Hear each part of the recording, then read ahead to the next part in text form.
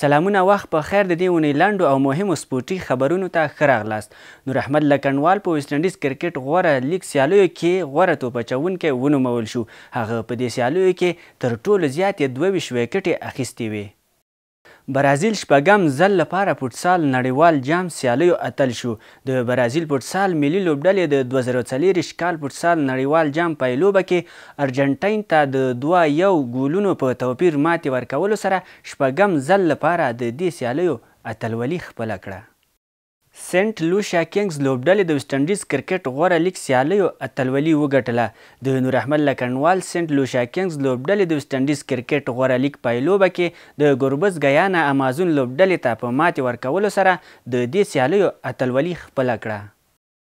د افغانستان کورش ملي لوبډلې د ایران سولې او دوستۍ درې اړخیزو سیالیو کې لومړی مقام خپل کړ. دغه سیالۍ چې د ایران په سیستان او بلوچستان کې د کوربه ایران، افغانستان او پاکستان ترمنځ پیل شوې وې، افغانستان پکې یو د برونزو او څلور د سرو زرو مډالونو په ګټلو سره لومړی مقام خپل کړی دی.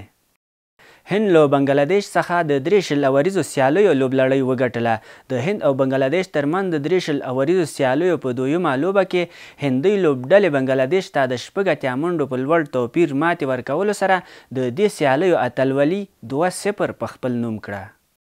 د هېواد په پنځه ولایتونو کې د زونونو په کچه فوټبال اتلانو لیګ سیالۍ پیل شوې. دغه سیالۍ په ننګرهار، هلمند، هرات، بلخ او کندوز ولایتونو کې پیل شوې چې پایله کې به یې له هر زون څخه یوه پیاوړې لوبډله د افغانستان اتلانو لیګ ته لار پیدا کړي.